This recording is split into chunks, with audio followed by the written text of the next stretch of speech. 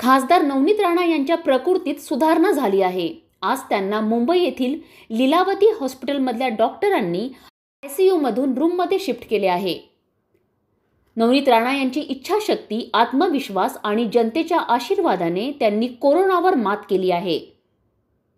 खासदार नवनीत राणा यांचे सर्व हितचिंतक आणि स्नेहीजन यांनी ज्या प्रकृती सुधारण्यासाठी ज्या प्रार्थना केल्यात त्या सत्कारणी लागल्या आहे.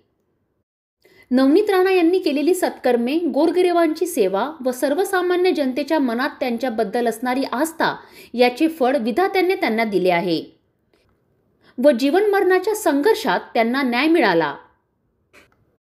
उपचार करणारे डॉक्टर्स ईश्वराचे रूप असून या महाभयंकर आजारापासून वाचण्यासाठी सर्वांनी शासकीय निर्देशांचे पालन करावे काळजी घ्यावी व कुठल्याही परिस्थितीत दुर्लक्ष करू नये असे आवाहन खासदार नवनीत रवी राणा व आमदार रवी राणा यांनी सर्व नागरिकांना केले आहे. डॉक्टरी सल्ल्यानुसार अजून काही दिवस त्यांना लीलावती हॉस्पिटलमध्ये ठेवण्यात येणार आहे. यावर्षी स्वातंत्र्य दिनाच्या ध्वजारोहण कार्यक्रमाला उपस्थित राहता आले नाही. याची खंत व्यक्त करून आमदार रवी राणा व खासदार नवनीत रवी राणा यांनी सर्व नागरिकांना स्वातंत्र्य दिनाच्या शुभेच्छा दिल्या आहेत. आत्ताच मी लीलावतीचे आय सी नॉर्मल रूममध्ये आली. आणि आपल्यासोबत याच्यासाठी संवाद साधत आहे. सगळ्यात पहिला संवाद आपल्यासोबतच साधत आहे.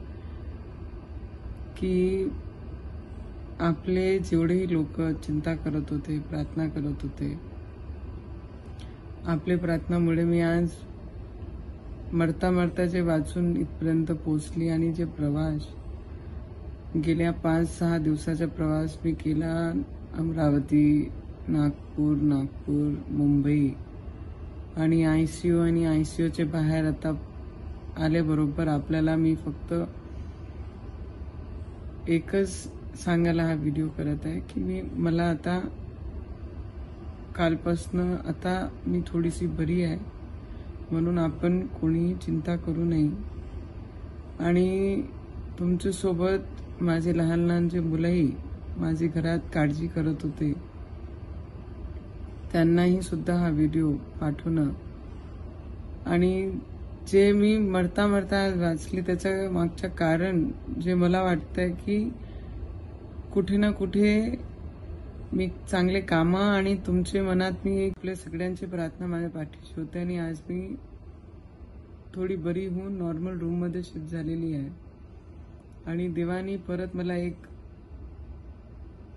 संधी दिली पाहिजे हे प्रार्थना करत होते की मी माझ्या लोकांचा अजून चांगला कामं करून चांगले कामं केले पाहिजे म्हणून मला परत लोकांमध्ये नॉर्मल होऊन लवकरात लवकर बरा करून त्यांच्या मदत पाठवा.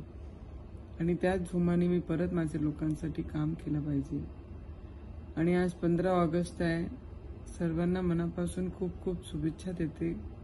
आणि आपले प्र आपलेच आशीर्वादाने आज मी वाचली. बस सगळ्यांचे मनापासून खूप धन्यवाद.